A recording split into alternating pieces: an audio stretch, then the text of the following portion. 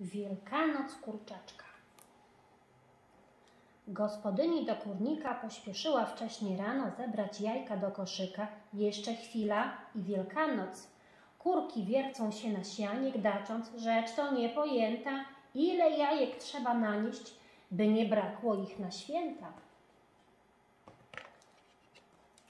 Właśnie wykluł się kurczaczek, który słysząc kur gdakanie, w mig wyprawił się na spacer, by podpatrzeć świętowanie.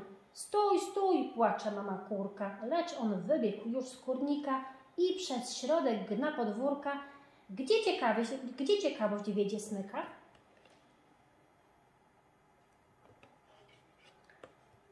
Próg domu przeskoczył malec, do kuchni niosą go łapki.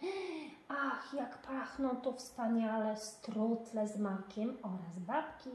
Stół świąteczny od pyszności i frykasów się ugina, będzie czym się w święta raczyć, spała szuje to rodzina.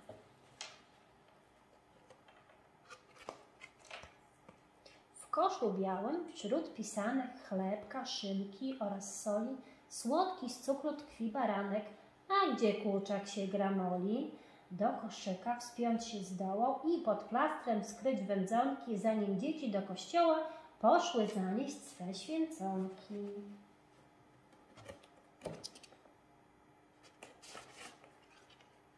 Przy niedzieli pod darami świątecznymi siedział skrycie, między ciasta okruszkami smakowały znakomicie. Śmigu z dynku z poniedziałek kurczakowi piórka zmoczył, więc kurniku skrył się śmiałek.